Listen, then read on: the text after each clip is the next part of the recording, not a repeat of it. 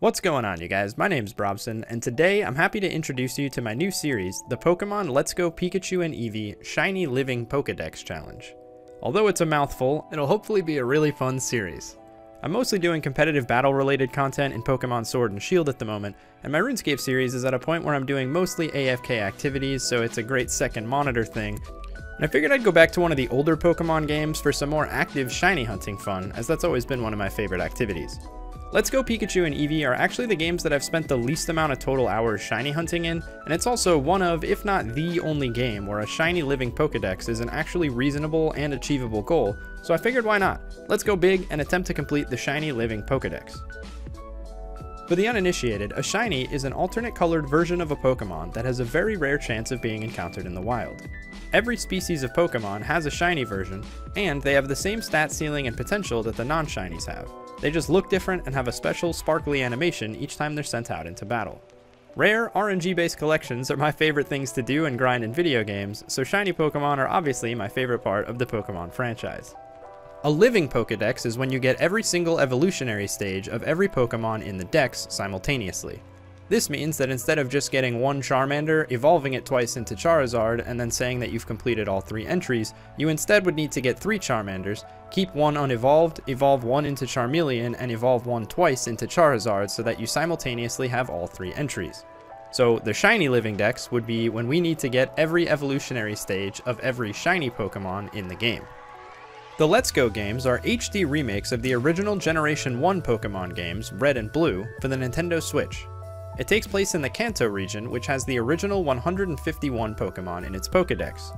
The mythical Pokemon Mew, however, is not obtainable in the Let's Go games, so we have 150 Pokemon that are catchable in-game. All 150 can be legitimately obtained as shinies within the game, so the goal of our series is to get all 150 shiny Pokemon to complete the Shiny Living Kanto Pokedex. The only rule or restriction for this challenge is that I need to do it 100% solo and self-sufficiently no online trading or obtaining help from others.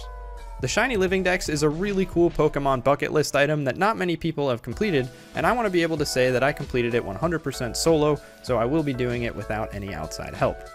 I'll be streaming 100% of the shiny hunts for this series on my Twitch channel, so that I'll have a live reaction and proof of each shiny as we find it.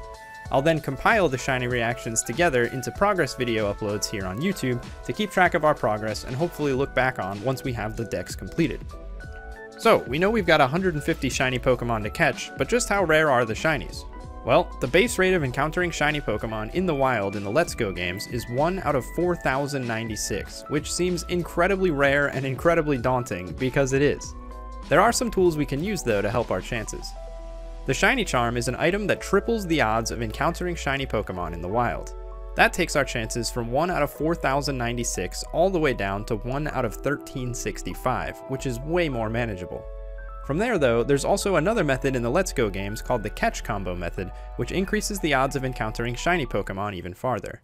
There's another in-game item called the Lure, which makes more Pokemon spawn per minute, as well as further increase shiny rate marginally. When successfully doing the catch combo method with the shiny charm equipped and a lure active, the odds of finding a shiny Pokemon in the wild are 1 out of 273. This is a way better number and obviously makes the concept of finding all 150 shinies much more realistic, but keep in mind that it does take a while to do the catch combo method properly, and we need to do it over and over again each time we hunt for a new shiny. Also keep in mind that we don't have complete control over which species is going to shine because anything on that route can pop out of the grass as the shiny, so we may end up in situations where we get a bunch of shinies pretty quickly, but they're of Pokemon we already have and don't need, and therefore it takes us a really long time to find the one or two that we still need for that route. The bottom line is, we have a lot of things we can do to make shinies more common, but it's still a pretty ridiculous goal to go for all 150, and it is going to take us a pretty long time to complete. I own both Let's Go Pikachu and Let's Go Eevee, and I completed a full story playthrough and became champion in both versions back when the games came out two years ago, so there won't be any story or playthrough in this series, it'll be exclusively shiny hunting. I've also already obtained the shiny charm in both games and fully stocked up on lures and pokeballs, so I've got virtually nothing left to do except get out there and start grinding the shinies. Again, I'll be streaming all 150 of the shiny hunts live on my Twitch channel, so you can check the link in the description to follow me on Twitch and hang out to see the shiny reactions live if that's something you're interested in. I've also created a playlist for this series here on YouTube, and I'll be adding progress videos showing each of the 150 finds and captures of the shiny, so it should be pretty awesome to archive and look back at when it's fully completed.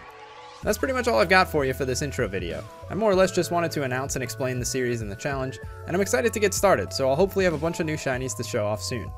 Thanks a lot for watching, don't forget to leave a like if you enjoyed the video, leave a comment with feedback letting me know if you're as excited for this as I am, and either way, I hope to see you live on Twitch for some shiny gains.